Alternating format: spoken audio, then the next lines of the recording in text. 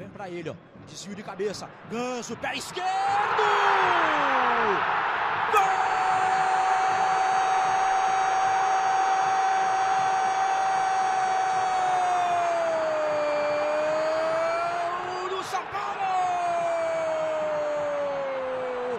Gol de craque! Gol de camisa 10! Gol de Paulo Henrique Ganso!